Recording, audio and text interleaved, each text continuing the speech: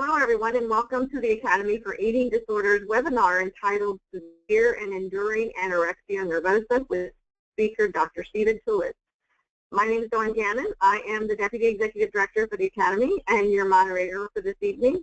If you have any questions or concerns about this webinar, please feel free to reach out to me directly at the AED headquarters via email at dgannon at aedweb.org or if it's easier for you to remember, you can just send an email to admin at aedweb.org.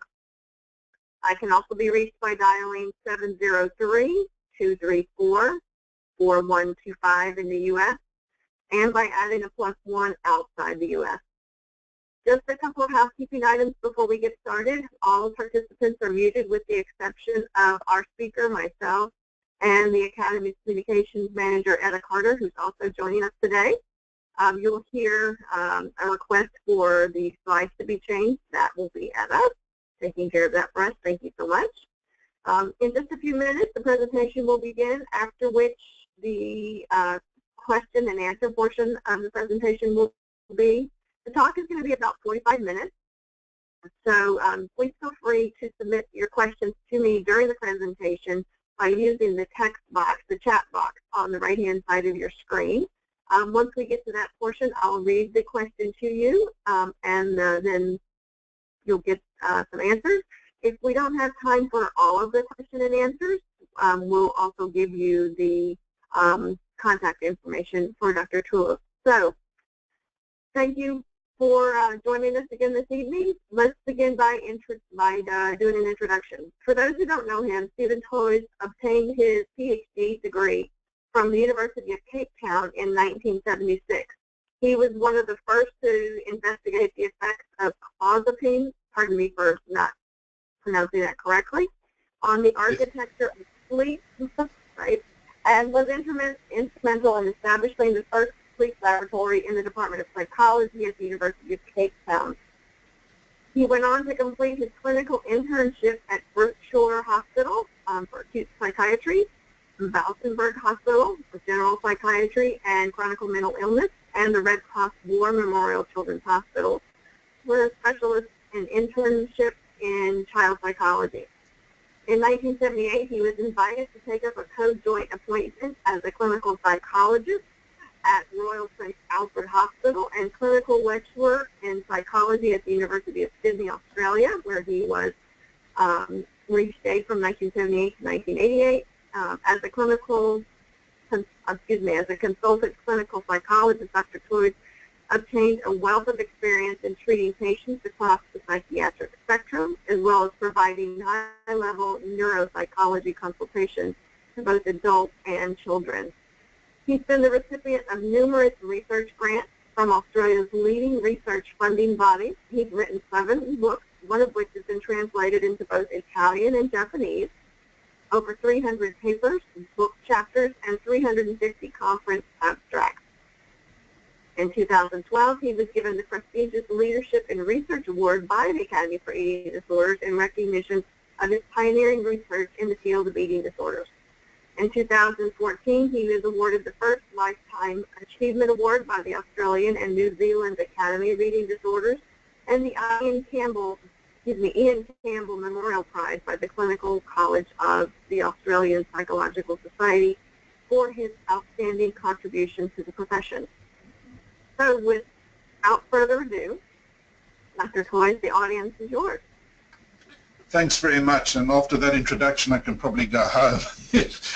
Thanks very much for that um, um, introduction. And I'd like to thank everyone who's joined this webinar um, this evening. Um, some of you I know it's, it's, it's bedtime almost, and it's a labor of love to be up so late, so thanks very much. Um, what I hope today is just to share some of my ideas about severe and enduring anorexia nervosa, and um, hopefully you'll also contribute to that debate moving forward. So could we have the next slide, please?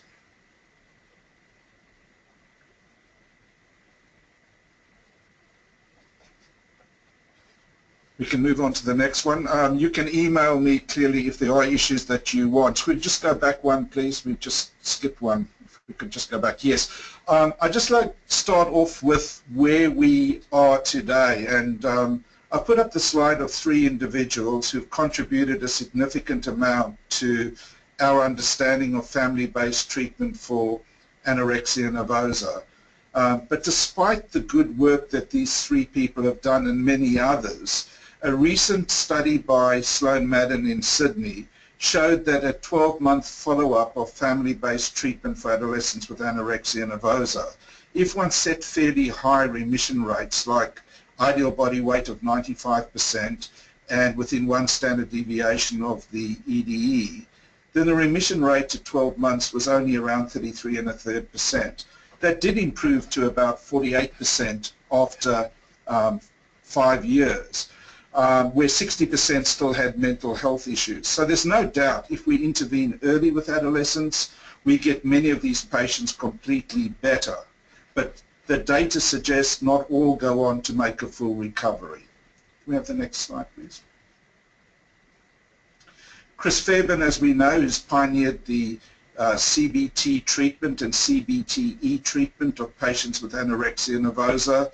Uh, likewise, has done some good studies to show that CBTE can again get a significant proportion of patients uh, better. But then again, not all patients respond, and depending what data you look at, about 50% of patients don't make a full recovery and go on to a longer enduring path with the illness. Can I have the next one, please?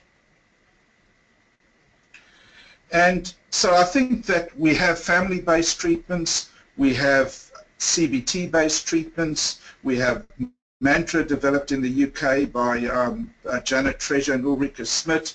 There's the SSCM treatment developed in New Zealand. We have many different treat IPT. We have many treatments for um, we use with patients with anorexia nervosa, and I think we've been trying to refine these treatments.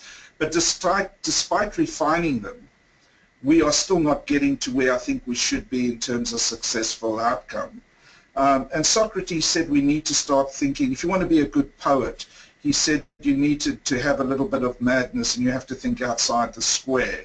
And I don't think we should become inspired madmen, but I think we need to start thinking a little outside the square, that we keep refining existing treatments. They seem to make slight improvements to outcome, but really we're not getting the major shift that I think we should be getting.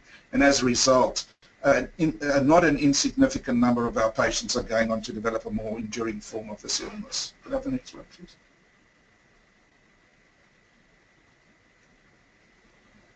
The next one, please. And so over time I've come to realize that um, um, we really need to start looking at the group of patients who don't go on to um, um succeed with the treatments that we've um, uh, developed. And this is an under-researched group of patients, and it's really over the last few years that people have been paying more attention to the group of patients who don't respond to the treatments we have available. Next, this is the Journal of Eating Disorders that I'm editor of, and we open access journal which people can um, uh, pick up um, um, new um, papers being published. And there's an editorial in there which I've given you about um, um, how we should sort of think about severe and enduring moving forward. Anorexia nervosa is not new. Morton described anorexia, a classical patient with anorexia nervosa, um, I think it was 1665 um, or 66. So we've known about this illness for several hundred years. And I think having known about this illness for so long, I would have hoped we'd be a little more successful in our overall outcome of treating these patients. Next, please.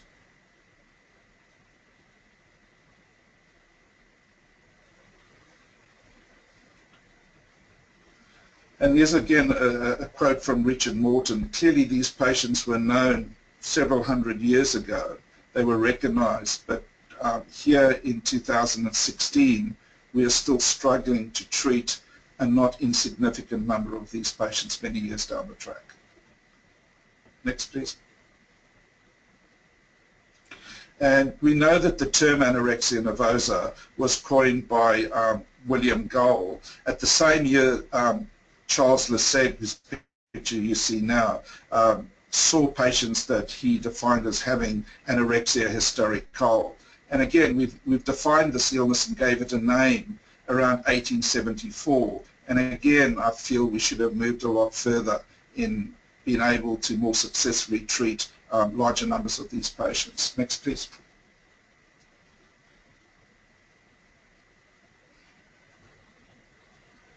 And this is Sir William Gull. We can move on to the next one, whose term actually stuck.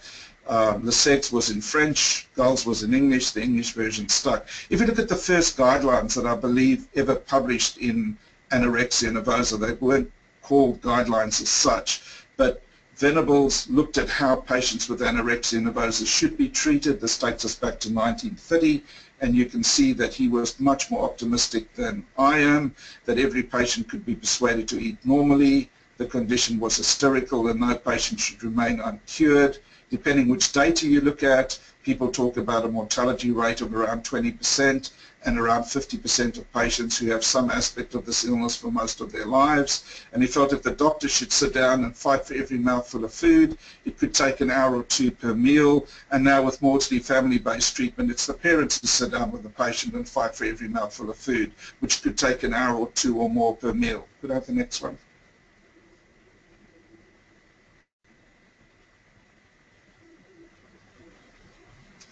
And despite that, he felt the doctor must never lose his temper, and now the parents doing family-based treatment should not lose their temper. He also felt one should cure the anorexia before one starts on the psychology of the patient's symptoms, and he felt that special nurses are usually needed, and that's still the case today. Could I have the next one, please?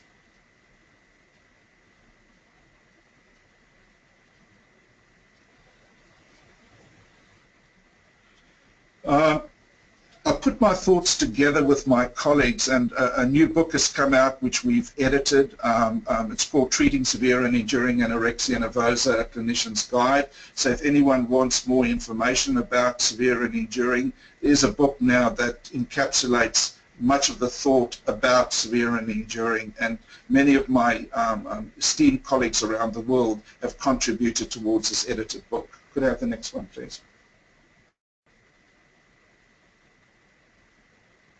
And those just a quick glance because of time, but um, if you want to, you can um, go to the Routledge website and look at the individual um, contributors. But these are some of the individuals who contributed to this book on severe and enduring anorexia nervosa. Can I have the next slide, please? So we tried to cover all aspects. Um, the specialist um, um, um, treatments, the two treatments in the book are manualized um, um, CBT for severe and enduring, and manualized um, special supportive clinical management for anorexia nervosa severe and enduring. Could we go to the next one, please? Mark Rego was an associate professor of psychiatry at Yale who developed rheumatoid arthritis and eventually was unable to work. And he wrote a wonderful piece in the American Journal of Psychiatry of what it's like to be chronically ill. Um, and he said there's a lot to learn about being chronically ill, how to temper disappointment and good news as both will pass, what to do, if anything, about forging a new identity. Next, please. And I think what we often forget when we're treating severe and enduring anorexia nervosa, what it's like every day to get up with a chronic um, um, um illness. And he says this very, very well in this piece in the American Journal of Psychiatry. Um, from a psychiatrist's perspective who's become chronically ill with a physical illness, but nevertheless a chronic illness and what it's like to be chronically ill. Could I have the next one, please? So he says, what would he say if he was asked to speak on behalf of his um, um, fellow patients? Could I have the next one, please? He said, I'd like them to know the following. Being chronically ill is not like having a bad back or a bad breakup. Your life is greatly downsized and in your new smaller quarters there are more sharp edges so you must be aware of a misstep. Thus to try anything is a bad idea. You will have a cordial exchanges about life but you're a confederate spectator here, not a real participant. I think when we treat our patients with severe and enduring anorexia nervosa, we need to take some of these issues that he raises into um, um, awareness that these patients get up every day living with a chronic illness. Next, please. So the other thing we need to think about is we need to treat these patients, but often the treatments that we use um, for younger patients don't, or patients who've been ill for a short period of time, don't seem to work for patients with severe and enduring anorexia nervosa. Many of them have had multiple courses of CBT, good CBT, they've had admissions to hospital, but yet they don't seem to be able to overcome uh, their illness. Next, please.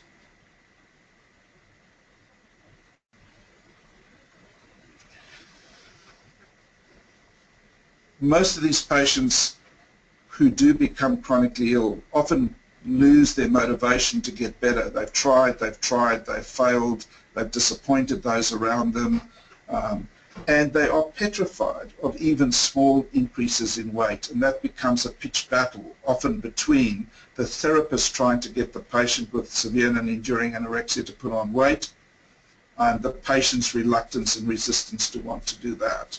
And one of the things we need to try and work through is we obviously don't want to get into a pitch battle here. It's um, um, um, obviously not going to be helpful in the long term. How we actually get these patients to improve their quality of life, improve their health, and make some of the changes that they need to do, which they're so petrified of doing. Next.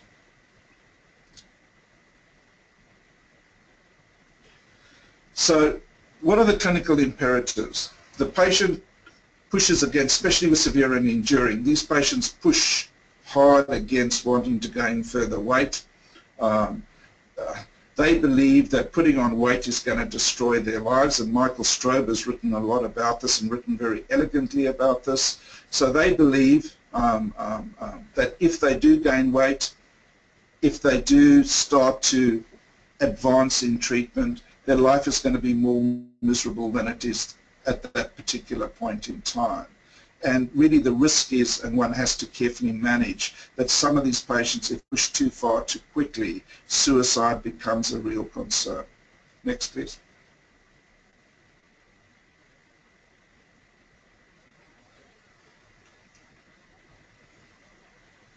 trying to have a rational conversation with patients with severe enduring anorexia nervosa that if they do the things we would like them to do, um, the patient's life would be so much better. It's just unpersuasive. The patient doesn't actually see it in the same way. So trying to use sort of rational thinking with many of these patients falls flat because the patient really isn't persuaded by the argument. The fear of changing is so great, it's a neophobia, that they feel that making the changes is going to make their life even worse than it is at that point in time. Next, please.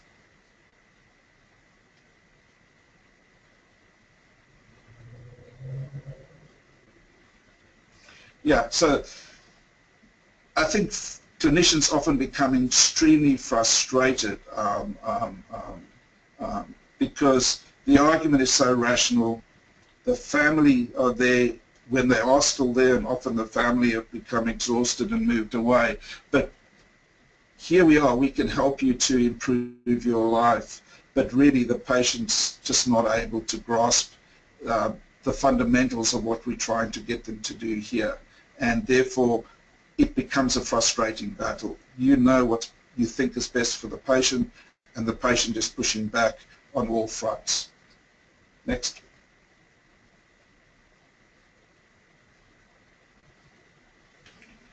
And jo Joanne Steinglass has done some interesting um, um, um, work and um, her data is suggesting that when habits are established at lower weights, they become much more entrenched. And she's arguing that some of the reasons as to why this may be so hard for these patients to change is that these behaviors have become much more entrenched because some of them have been entrenched at a much lower weight. Next. So there's some neural underpinnings for why this might be that these patients are so hard to change. So the start brain may be more prone to utilizing efficient cognitive strategies such as habit mechanisms and by directly examining food choices in individuals with AN, we have shown that this behavior is mediated by the dorsal striatum, which suggests a, a potential link with habit neural circuits. So there's some neural underpinnings being worked on and this is an exciting kind of area where um, advances have been made in understanding severe and enduring anorexia nervosa. Next, please.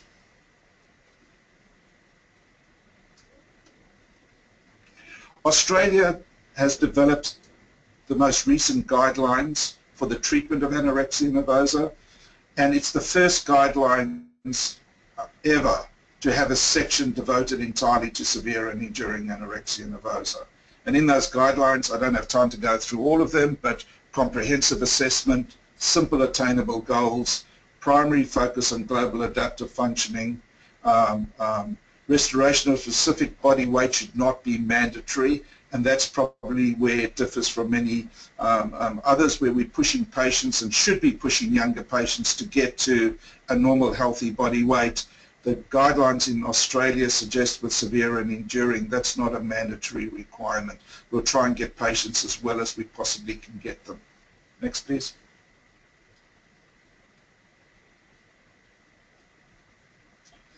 One tries to improve nutrition, interpersonal functioning, uh, you try and get them involved with psychologically minded physicians. Often family members are ill-informed and still pushing for recovery, which may not be possible. And where possible, you need a highly experienced multidisciplinary team. These are very difficult patients to treat. Um, individual uh, therapists who treat these patients as uh, on their own in individual therapy without a team would find it extremely difficult because they are complex, they're difficult, they're demanding, and they need so many different uh, inputs that treating these patients in terms of multidisciplinary team, in my opinion, is a far better way to go than trying to treat them on your own. Next, please.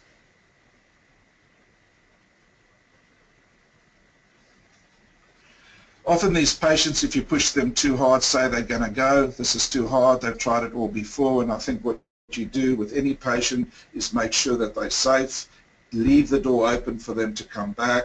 Um, um, and, and many then do. They go away for a while, decide that they'd like to come back. So I think leaving that door open and not leaving them with a feeling that they've failed, but they're grappling with a severe debilitating illness, I think is a very good um, option. Leave that door open where you can and make sure, especially those at very low weight, that they've been medically managed out in the community.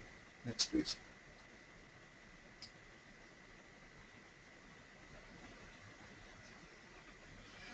And many clinicians who haven't had a good background and experience in treating anorexia nervosa end up trying to treat patients with severe and enduring anorexia nervosa often feel these patients are just too hard to treat and feel they're not going to take on any more such patients. Um, and in practice, I would advise any clinicians um, who um, are part of this today is not to take too many severe and enduring patients on at any one time. They're demanding they're tough to treat. You're up against a formidable kind of illness, and if you take on too many, you're going to find that um, it's going to become uh, quite a, a, significant challenge for yourself. So the advice is take on, if you're going to take these patients on, don't take on too many. I would think one at a time would be enough, but if you can take on two, but probably no more than that, unless you're working within a unit where you've got a lot of support from colleagues. Next, please. Okay, I just want to talk very briefly, and this has been published in Psychological Medicine, so you can go back and read the actual article. This is the first, I understand, multi-center trial looking at two treatments for patients with severe and enduring anorexia nervosa. All patients in this trial had severe and enduring anorexia nervosa. There are many studies that have been done in the past, treatment studies, which have had some patients with severe and enduring as part of their patient group.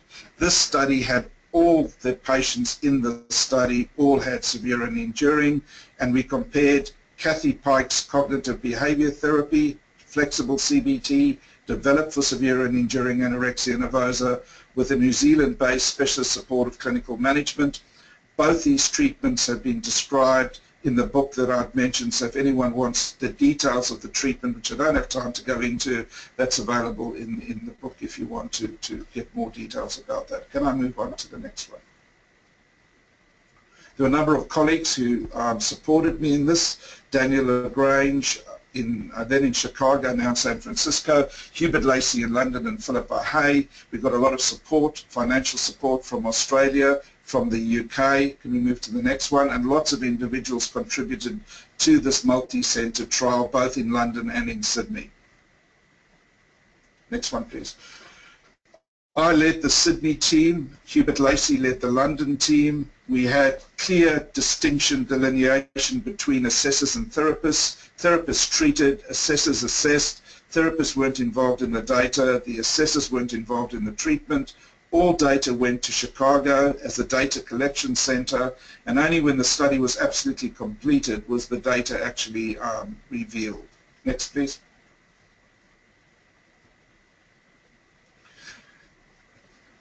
CBT was, both treatments in the end um, um, were successful, uh, but CBT at follow-up showed uh, uh, slight advantages over SSCM. Um, so CBT did demonstrate some greater um, um, improvements on primary outcome measures. This study was different to most other studies that the primary outcome measures were mental health related quality of life, eating disorder symptoms, motivation for change and healthcare burden, and the secondary outcome was weight. Uh, weight was important to us, and we wanted these patients to gain weight, but we didn't make treatment all revolve around weight. We hoped by changing quality of life, we'd also be able to change weight. We randomized 63 medically stable um, adults to either CBT or SSCM, and they had to, if they were on medication, they had to be at least two months stable on medication to meet entry require, requirements. Next, please. They had eight months of treatment, 27 and a half contact hours, 33 50-minute sessions in both CBT um, or, or SSCM, and we did independent assessments at baseline, at the end of treatment, at six months, 12 months, and we've recently completed a five-year follow-up. Next, please.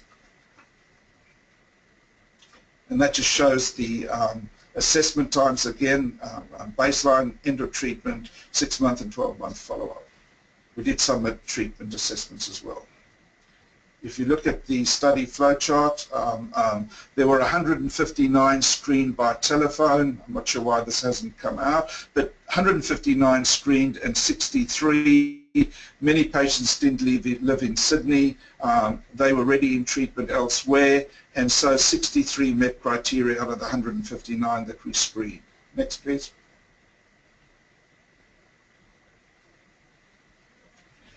If you look at some of the baseline criteria of these patients, and I don't have too much time to, to go into this, but the sad thing was here that many of these patients, um, if one looks at the SSCM, um, um, um, that um, many of these patients and in the CBT group, they had college degrees. Um, a significant number had college degrees. Yet if you look at the employment, the employment record did not match their academic achievements. So this illness long term has a dramatic impact on their lives, not only psychologically, medically, socially, but also from an employment point of view, despite having a high number of them having um, college degrees. Um, when you look at the employment, it clearly didn't match the um, level of um, tertiary education that many of them had. And again, in terms of partners, etc., again, this illness has, if it goes on to become severe and enduring, a significant impact on all aspects of the patient's life. Next, please. So we use two treatment sites deliberately, Sydney and London. We use manualized treatment experienced therapists, weekly supervision. Ross Crosby looked at the data, so we had good statistical input from Fargo, from Ross Crosby. We had low attrition. This study, um, uh, we managed to maintain 85% of patients through to one-year follow-up.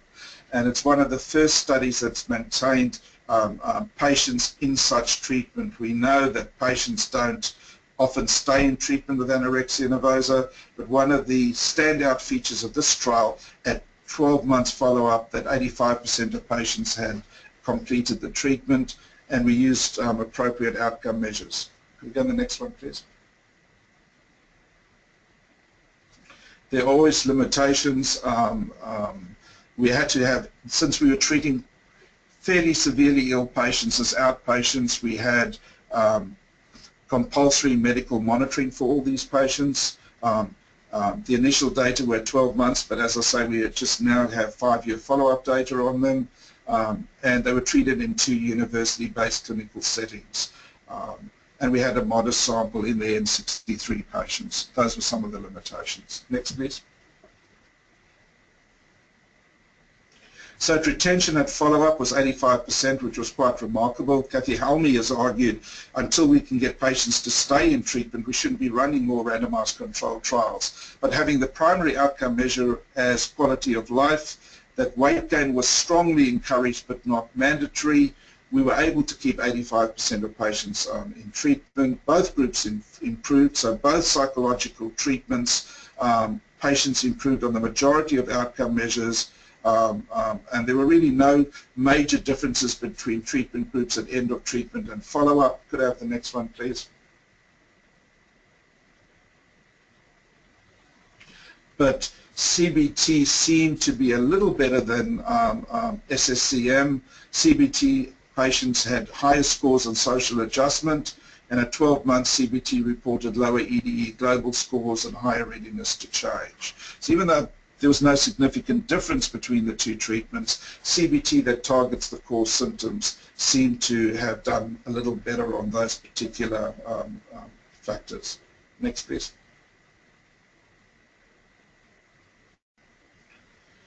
So what are the implications of this study? And I think it needs to be replicated and we need many more studies like this. Uh, it suggests that even if you have a severe and enduring anorexia nervosa, you can still make significant and meaningful improvements with therapy. Um, and as I said, CBT showed some significant advantage at follow-up over SSCM in terms of social adjustment, core eating pathology and readiness to change, but no differences in health-related quality of life or healthcare utilization. Next, please.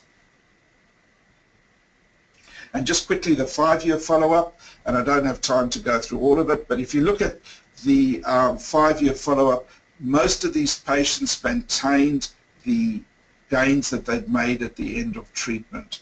Um, most patients um, um, had done had made gains during treatment and at five-year follow-up had maintained many of the gains that they had made. And that's again a very sort of promising finding. Unfortunately, our numbers had fallen quite significantly um, um, by the time we did the five-year follow-up. So we had 85% at the end of treatment, but trying to maintain contact with these patients is extremely difficult. And as you can see, the numbers there of 28 um, at the five-year follow-up says we can't say too much about the five-year follow-up data other than patients seem to have maintained the progress they've made during treatment. Next, please.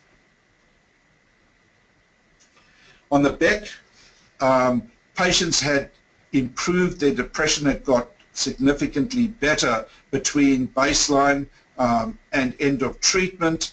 Um, it had again started to move up by the five-year follow-up, but at five-year follow-up it was still significantly different to baseline, um, but it had um, increased, their depression had lifted um, um, um, the depression had, sorry, not lifted, the depression had become a little more severe than it was at um, the end of treatment and the end of follow-up, 12-month um, follow-up. So the depression had come back a bit, but it was still significantly different from baseline. Could I have the next one, please? And again, the EDE global scores, and clearly what this is showing, it's low numbers, but what this is showing is that patients were able to maintain the improvements five years um, um, at five-year follow-up the improvements they had made during the actual treatment. Next, please. And that's similar kind of finding. Patients seem to maintain the improvement they had made. Could I have the next one, please? the social adjustment scale, again, it's the same thing. They've improved their social functioning and they've maintained that at five-year follow-up. So I'd like to now look at, there are some programs that have now been developed worldwide that cater specifically for patients with severe and enduring anorexia nervosa. There is one such program now at the Toronto General Hospital that Blake Woodside's involved in. Could have the next one, please? And um, Hubert Lacey in, in, in um, London has what's called a compulsory recovery program and I'll just sort of share a little bit with you. Um, these are patients who've experienced a number of failed treatment episodes, including time under the Mental Health Care um, Act there. They have to have, to get into their compulsory recovery program, they have to have been ill for at least um, 10 years. Could I have the next one? And um, unless they responded to this particular program, then the unit that Professor Lacey would run would say you now end up with severe and enduring anorexia nervosa. We're going to give you one trial in our compulsory recovery program. If you aren't able to meet um, and, and improve with this particular program, then we're going to say that you probably have a severe and enduring um, um, anorexia nervosa. And he, he says it's a calculated clinical attempt to prevent the patient from moving from AN to severe and enduring anorexia nervosa.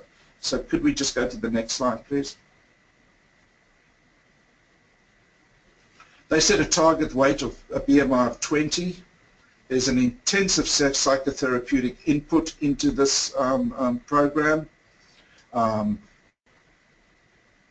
if they lose, if their weight starts to decline in any way, and he says a gram below 20, a BMI of 20 on two occasions, they're readmitted, and they're readmitted under uh, a compulsory health act. If, um, so they have to come back in, and each time they would restore their weight to a BMI of 20 plus one kilogram.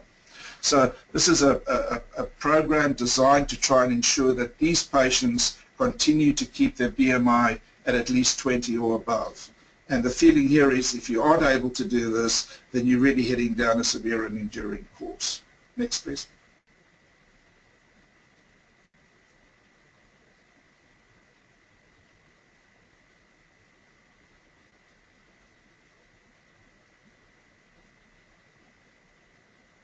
Could I have the next slide? Okay. Seven patients have undergone this compulsory recovery program, all under the age of 25.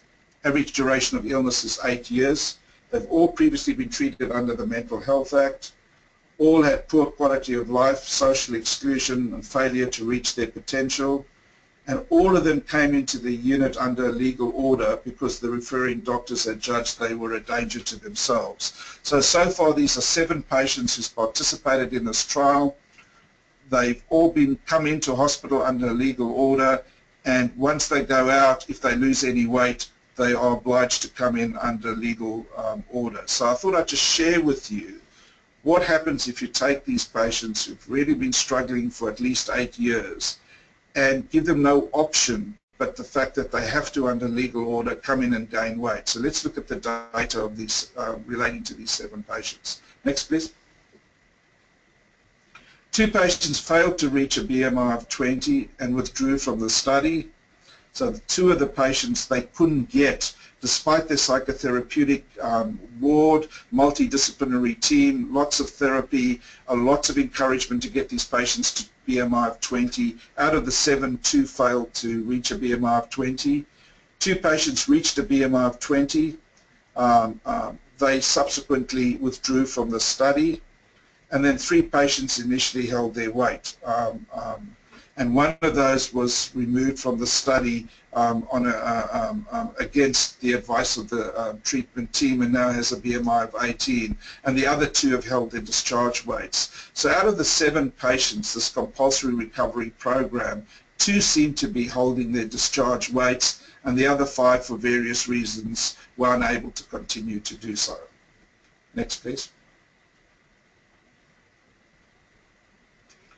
So if we go back to the program that Blake Woodside and um, um, um, um, um Alan Kaplan had, These in Toronto, it provides community-based care for 30 participants. There's an inpatient unit. This is the outpatient unit.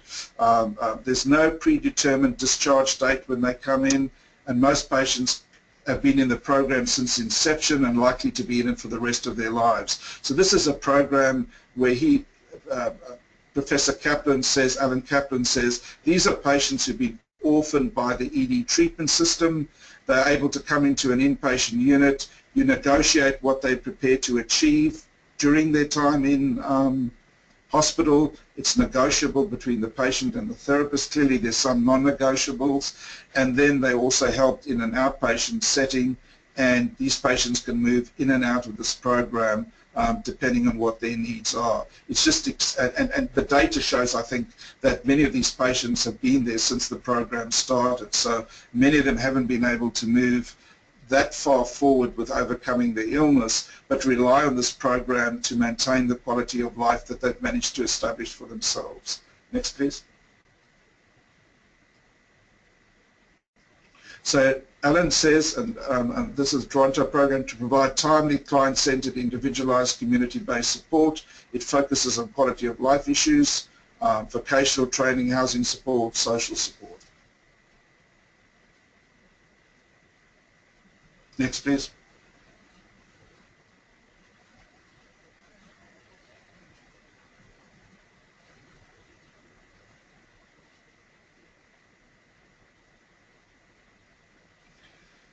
And then what this program does do, it has a palliative care approach. And uh, this sort of arises, um, um, ethical issues arise, um, clinicians feel very strongly one way or another about palliative care when it comes to anorexia nervosa, but the decision to adopt a palliative care approach must be made on a case-by-case -case basis, ideally after consultation with bioethicists and your palliative care experts, and with the full consent of substitute decision makers, parents and spouse, and such an individualized patient and family-centered approach will assure that the physician is upholding the most important element of the Hippocratic Oath.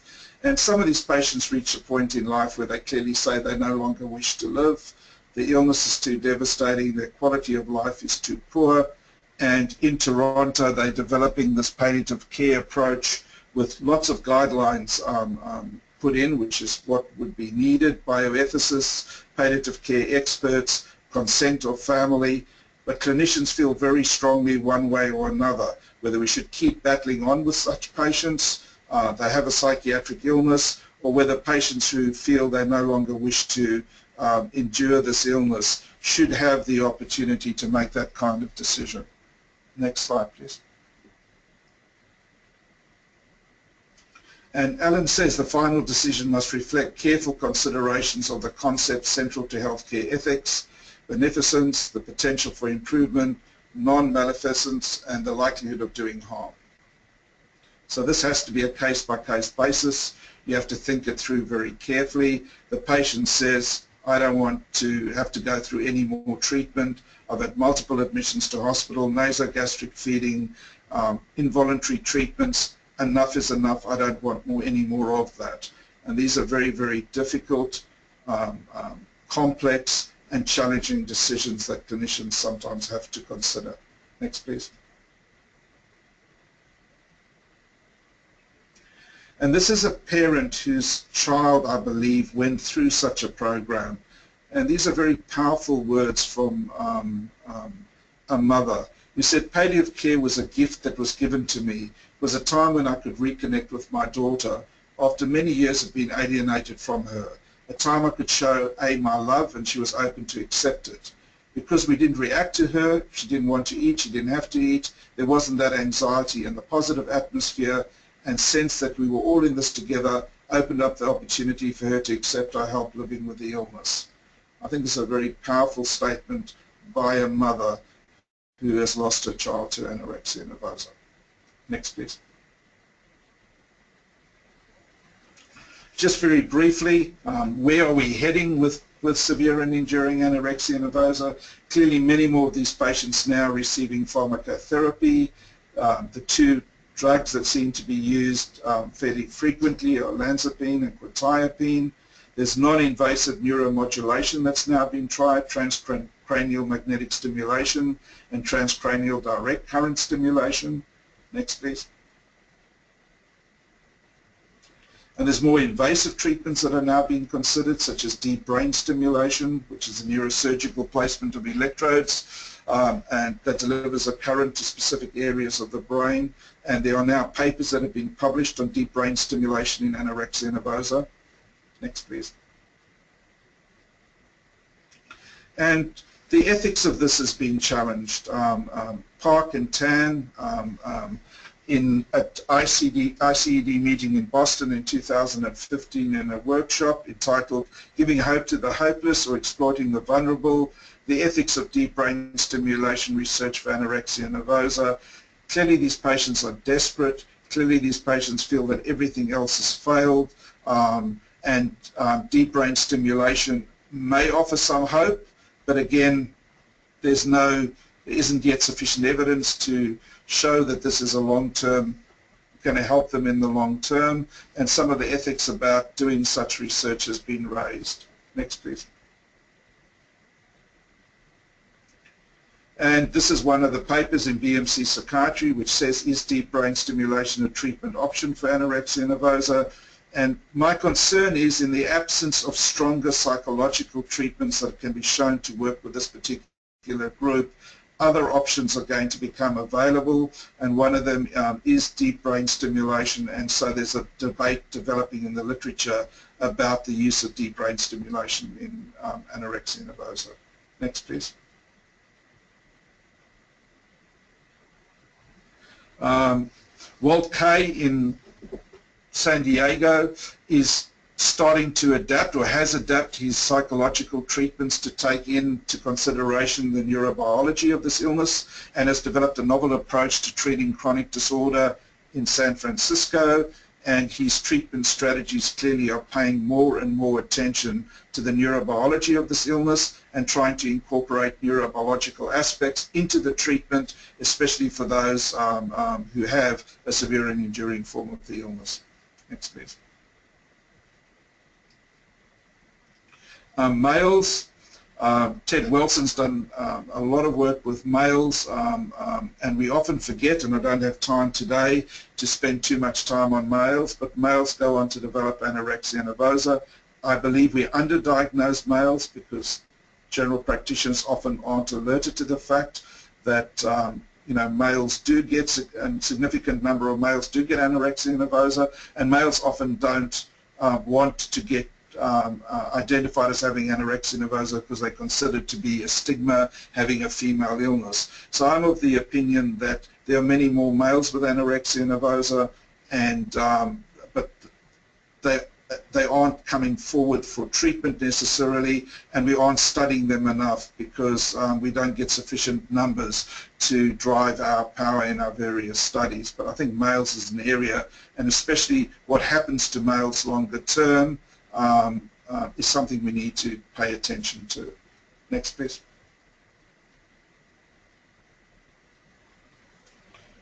Uh, Weltzin believes that rates of EDs in males will continue to increase and so a proportion of those will go on to develop um, um, severe and enduring anorexia nervosa. So males is a group that we need to pay more attention to. So just to conclude and now get on to questions that treatment of the chronically ill demands awareness of the related customs by which these patients insist they must live without deviating from routines, without contemplations of alternatives or new possibilities, that makes treatment very difficult. It requires an understanding of why it's hazardous to ask patients with severe and enduring anorexia nervosa to challenge their routines too soon or too forcefully. When one does that, the patient either doesn't come back to treatment or you could end up your patient becoming much more suicidal and depressed.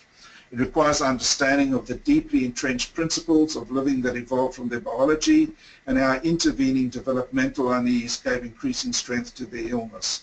So treating these patients is a challenge, uh, requires the um, uh, a huge degree of patience, um, and one of the things we should always remember is if we're going to effect change in these patients is not to push them too hard too quickly. If we get change over time with these patients, that's a great outcome. I'll stop there now and um, um, allow you to ask some questions. Thank you for um, um, staying with me, especially those late at night. Thank you so much for such a, um, an informative presentation. Um, I actually learned quite a bit myself, so thank you for that. Um, if anyone has questions, um, please look at the look at your um, screen on the right-hand side. There's a box that says questions. You can um, type in your questions, and I will ask them. And we can, okay, here's a question uh, for you. Are we giving patients with AN enough time during the motivational enhancement stage of CBT and to really consider changing and preparing them to engage in behavioral change? Yes, um, you'll see in this in, in our trial, which is the only one I said which is uh, taken on only patients with severe and enduring, we had an option which CBT to use in this trial and we chose to use Kathy Pike's CBT that she's developed in New York for um, um, treating patients with anorexia nervosa, and she modified that for severe and enduring anorexia nervosa. And what's built into that CBT is great flexibility for motivational enhancement therapy. That there's little point in trying to um, get the patient to change if they're not ready to change. So in the CBT we used in our trial, we were able to spend as many sessions of that CBT as we, as we deem fit to try and get the patients motivated to change. So that's a very good question. And with these patients, you have to do a great deal of uh, motivational work because trying to induce change when the patient's not going to consider that means all you do is you get into a confrontation. So motivational enhancement work is crucial with these patients and you need to have a therapy that allows you to spend as much time, sometimes several months or even longer, just to try and engage these um, patients in treatment. That's a good question, thank you. Okay. Um, one the other, I, we only, the only other question that we have um, is what about MI? Yeah, well, I think motivational interviewing, it's the same thing. I think that um, if the patient is not ready to change, then trying to get the patient to undertake a treatment where the main emphasis of the treatment is change. And I guess uh, the point I kept stressing was that in our trial, we had an 85% retention rate um, and we put a lot of effort into keeping the patients in the trial. It was a clinical trial and we engaged patients and we um, sent them newsletters and uh, we kept updating um, them about um, issues that they needed to know, etc. Um, so we, we made an effort to keep them. But many patients with severe enduring treatment drop out of treatment. So any kind of motivational work you can do and not everyone agrees with that. Some people feel, well, if your patient's not going to um, accept the treatment you're offering, then are you colluding with the patient in terms of not actually changing? So some people have an alternate view and feel that, um, you know, if you want to recover from anorexia nervosa, you ultimately have to put on weight. And if you're not going to be able to do that, you're never going to get better. So by allowing a patient to um, uh, be in pre-contemplation or contemplation, you're not actually allowing the patient to change. Um, and some people would feel that you're colluding with the patient. If you said to the patient, come back when you're ready to change, would that be more motivating to the patient? Um, we sort of erred on the side of doing lots of motivational interviewing and lots of um, um, work in trying to motivate the patient to accept that they need to make some decisions about their life. We don't make weight gain mandatory, but we strongly encourage weight gain. We have non-negotiables. Um, and in the London arm of the trial, two patients actually went on to have children, have babies. So it does show that if you are able to sit with some of these patients long enough, motivate them to do something about their lives, um, they end up um, um, making the changes that they need that, that are necessary to vastly improve their lives. Okay. Um, another question or comment um, considering that you're suggesting that it may take several months, does it need to be inpatient or day patient, or can this be completed outpatient with the support of medical monitoring, in your opinion? Okay, another good question. Um, I mentioned Blake Woodside. Blake Woodside has a unit in Toronto where you come in as a severe and enduring patient and you are treated very differently to a patient who doesn't have severe and enduring. So the, the program that many patients with severe and enduring anorexia get into are patients that are more acute, haven't had it for nearly as long, and they're forced into a milieu program that they feel so uncomfortable with. They've been there, done it so many times before, they refuse to stay or refuse to go in. So Blake Woodside has a program where it starts with a blank sheet of paper and you and the patient work out what you're going to achieve on that admission with some non-negotiables put in. Um, I think it really depends. These patients require very careful medical monitoring. Um, many of them um, are at risk and clearly a non-negotiable would be that if your medical condition determines that you need to be in hospital, well then you need to be in hospital and maybe only in hospital until your medical status improves and you're no longer medically unstable. Um, we've run day hospital programs exclusively for patients with severe and enduring anorexia nervosa and patients are more likely then to come into such a program. So I really think it depends on what's available.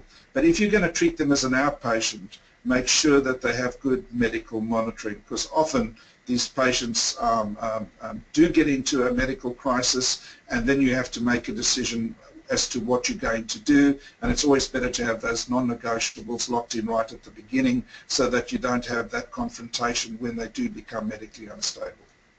That's another good point. Thank you.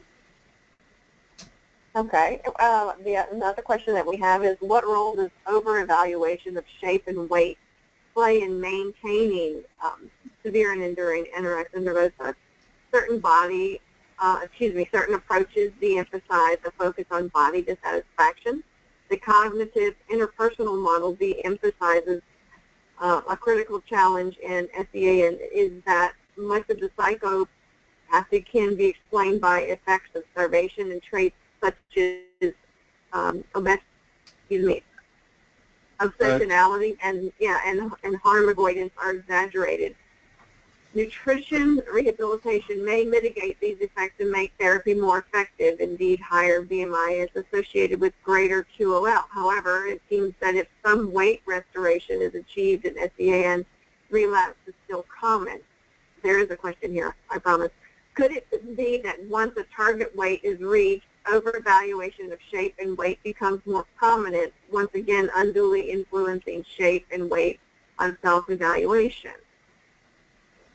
Okay, so, that's a, yeah, the one, yeah. just one more comment. If so, this may be the catalyst for relapse and severe weight loss. Okay, yeah. Uh, the difficult problem here is um, when patients are in a pitch battle not to gain weight. Uh, clearly weight gain helps and um, um, no, I don't think anyone would argue against that. I mean, you could get everyone with severe and enduring anorexia nervosa to reach a normal healthy weight. That's clearly the outcome we would desire.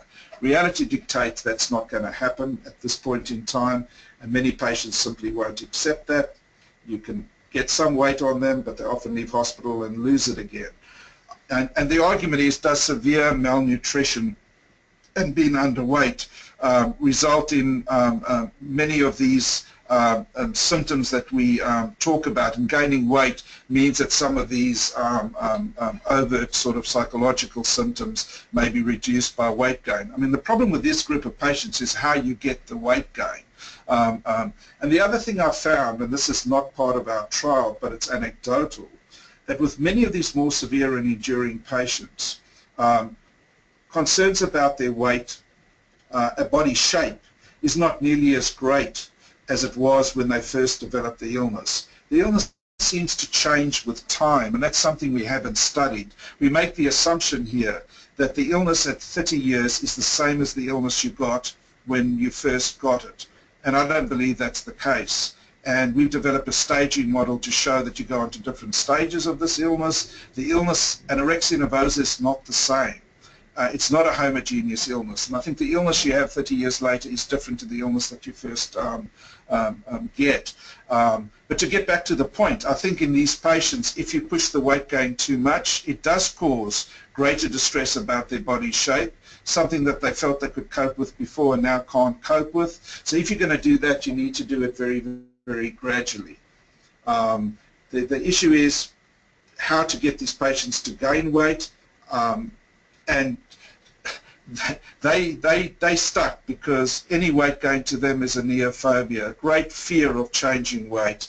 Uh, if we get them to change weight, then I think some of the symptoms like mood may will will probably improve, but we can't get them to to do that initially, and that's where part of this problem with severe and enduring anorexia nervosa is. I'm not sure I've entirely answered the question, um, um, but I think that gaining weight does not make your concerns about your body shape necessarily get better it sometimes does make it get worse. And those patients then struggle a lot more.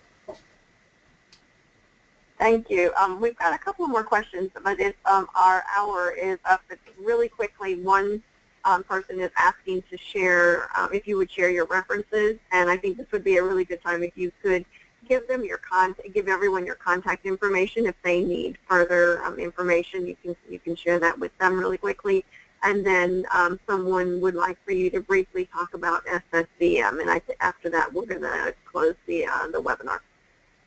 Okay, SSCM, Special Supportive Clinical Management, is a therapy that's been developed in New Zealand by Jenny McIntosh um, and, um, and Jenny Jordan, um, and uh, uh, it's it's a treatment that it's different to CBT because it provides no homework whatsoever. It provides no monitoring. CBT is very strong on monitoring. It's very strong on homework. It's very strong on what needs to be achieved at each session. SSCM is much more flexible. The patient can help determine where the therapy is going. No homework is, is, is given. No monitoring is prescribed. A lot of psychoeducation material is given to the patient, but it's not checked whether they actually reading the material. If they bring it back into session, they can bring it back into session. So it's a treatment that does focus on trying to get these patients to take more responsibility. It's good clinical management, but it is different to CBT in terms of monitoring, in terms of homework, um, and it allows the patient to set the agenda a lot more than um, it does in um, CBT. Okay, well, well So thank you, thank you. thank you again. Thank- I'm not sure if that's where we end, but if we are ending soon, I'd like to thank everyone for um, participating um, um, in this webinar. This is an area we need to drive forward, the more people who become interested in this area, because there are lots of patients who unfortunately, despite all our good efforts, we've worked hard with them, they've had the best treatments available, but yet they still have this debilitating illness. And it's that group of patients I feel we need to pay more attention to and develop better treatment so their lives and their quality of lives can be improved further. Great, wonderful. Thank you for, for, again, for such a wonderful presentation.